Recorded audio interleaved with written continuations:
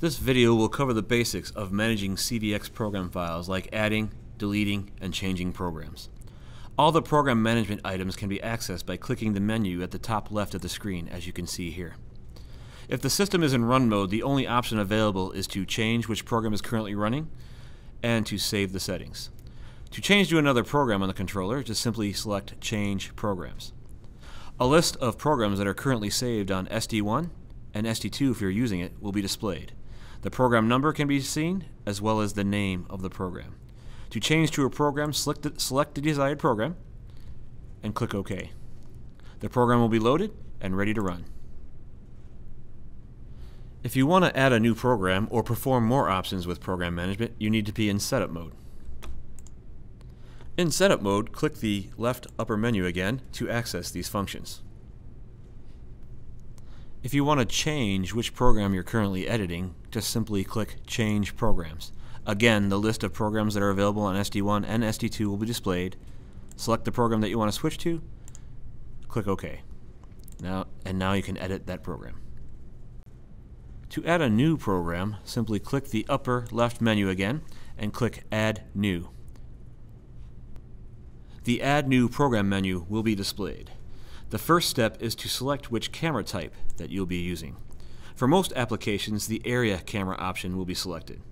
If you have the 21 megapixel camera or the LJ-V laser profiler, you would select those types as needed. The next step will be to select what type of program that you will be using. For most applications, the generic program setting will be selected. There is also a special connector setting program and if you're doing vision-guided robotics, you would choose that type if needed. Next, select which SD card the program should be saved to. You can save programs on the included SD1 card or the optional SD2 card. Up to 1,000 programs can be saved on each SD card, assuming space allows. As a default, the system will select the next available program number according to which SD card you have selected. You can change the program number as desired by clicking on that field. The default program name will be new followed by the program number. To change the name, just simply click on that field and enter the desired name. Click OK and it will have the new name. When you are adding a new program, the most current version firmware that you're running on the controller will be automatically selected. If you desire to make a program in an earlier version, simply select the version number from the drop-down menu. You can also view the used and available space on each SD card in this menu. When you're ready, click Execute. The program will be added and ready for editing. If you want to make a copy of one of your program settings, just simply click the upper left menu and select Copy from this menu. First, pick the source program, in other words, the program that you would like to copy from the list, and click OK. And then choose where you want to save it to. You can save it to the SD1 card or SD2 card if you're using it.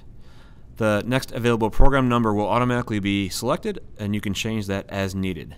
The name of the program will remain the same unless you click here and change that field as well. Uh, when you're ready to copy, just go ahead and click Execute. The program settings will be copied and it will give you an option if you want to switch to the newly copied program right now or stay with the current program that you have. If you want to switch to the newly copied program, just simply click Yes and it will change to that program and you can edit the program. If you want to delete one of your program settings, just simply select Delete from the top left menu here. Target is the program that you would like to delete, so select that from the list. It cannot be the one that's currently running on the controller, so switch off of that if that's the one you want to delete. So select it, click OK, and when you want to delete, just simply click the Delete button. It'll give you one last confirmation. If you're OK with that, just click OK, and the program will be deleted from the controller.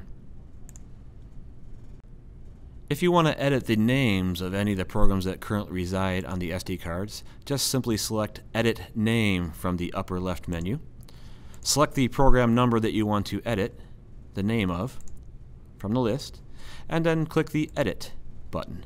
Then you can freely edit the name of the program and click OK, and then you have just changed the name of the program. If you've updated your firmware on the CV-X controller or are running a program of an older version than the firmware, the version number will be displayed next to the program number, as you can see here. If this is not displayed, the current program is updated to the latest firmware. You can update the program at any time, again by clicking the upper left menu and clicking on Update Version Program Setting. It will update the current program to the latest firmware version on the controller.